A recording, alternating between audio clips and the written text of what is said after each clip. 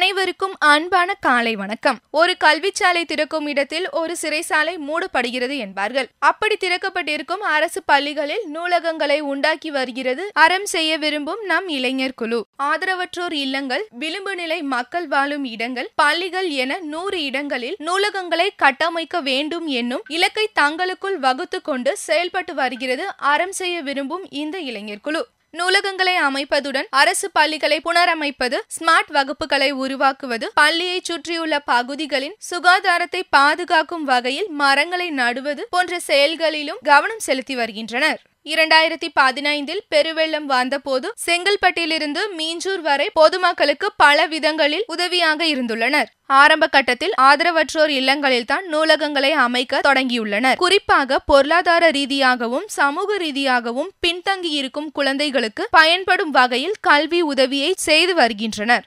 அரசு பள்ளிகளை அடையாளம் கண்டு அதற்கு தேவையான வசதிகளை பல்வேறு நிறுவனங்களிலிருந்து சிஎஸ்ஆர் நிதியை பெற்றுத் தருவதன் மூலமும் உதவுகின்றனர். அலுவலகத்தின் உடன் பணிபுரிவோர் முக்கியமாக ஒருமித்த கருத்துடைய நண்பர்களின் உதவி இருப்பதால் இதுபோன்ற பணிகளை தடையில்லாமல் செய்து வருகின்றனர். மறைமலை நகரில் உள்ள ஆதரவற்றோர் இல்லம் ஒன்றில் பல குழந்தைகள் தேசிய திறந்தவெளி பள்ளி கல்வி திட்டத்தின் கீழ் படித்து வருகிறார்கள். அவர்களுக்கும் உதவி செய்வதாக கூறியுள்ளார் ராஜசிம்மன்.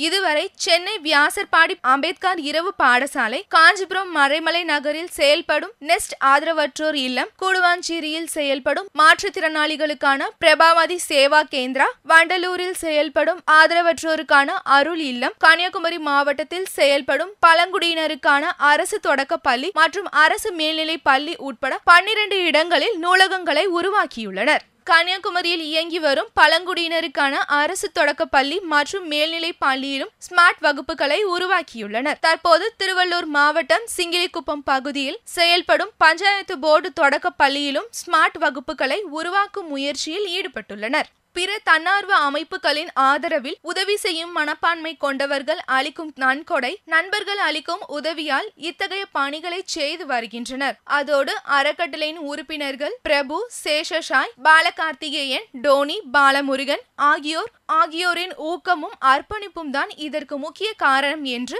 அறக்கட்டளையின் ஒருங்கிணைப்பாளர் ராஜசிம்மன் பெருமையுடன் தெரிவித்துள்ளார். அரசு உதவிகள் ஏதுமின்றி இளைஞர்களின் முயற்சியாலும் நண்பர்களின் உதவியால் மட்டுமே இயங்கி வருகிறது. பனிரெண்டு இடங்களில் நூலகங்கள் அமைத்ததோடு மட்டுமன்றி தற்போது வேலூர் சிங்கிலிக்குப்பம் பகுதியில் அமைந்துள்ள பஞ்சாயத்து போர்டு தொடக்க பள்ளிகளிலும் ஸ்மார்ட் வகுப்புகளை உருவாக்கும் முயற்சியில் இறங்கியுள்ளனர். இவர்களின் முயற்சிக்கு தோல் கொடுக்கும் தோழனாய் நின்று நம்மால் இயன்ற உதவிகளை செய்தால் எதிர்காலம் வளம் பெறும். அறம் செய்ய விரும்பும் இந்த இளைஞர் குழுவுடன் இணைந்து உதவிட விருப்பம் உள்ளவர்கள் ஒன்பது ஏழு எட்டு ஒன்பது மூன்று எட்டு ஒன்பது இரண்டு எட்டு இரண்டு என்ற எண்ணிற்கு தொடர்பு கொள்ளுங்கள். தன்னலமற்ற சமூக பணியில் ஈடுபட்டு வரும் அறம் செய்ய விரும்பும் இளைஞர் குழுவின் முயற்சிகள் வெற்றியடைந்து மென்மேலும் வளர மிஸ்டர் சே நியூஸ் அண்ட் ரேடியோ சார்பாக மனமார்ந்த வாழ்த்துக்கள்.